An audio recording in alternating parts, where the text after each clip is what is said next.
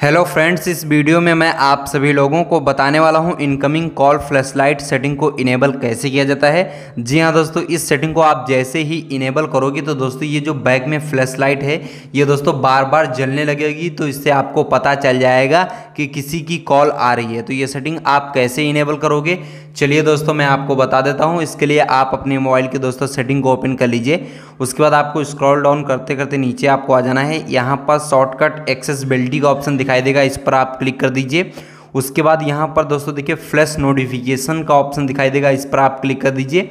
उसके बाद यहाँ पर देखिए इनकमिंग कॉल्स का ऑप्शन जो दिख रहा है, इस टिक को आपको इनेबल कर देना बस दोस्तों, अब किसी की भी कॉल आएगी तो दोस्तों ये जो है फ्लैश लाइट बार बार जलने लगेगी तो इससे आपको पता चल जाएगा कि किसी की कॉल आ रही है।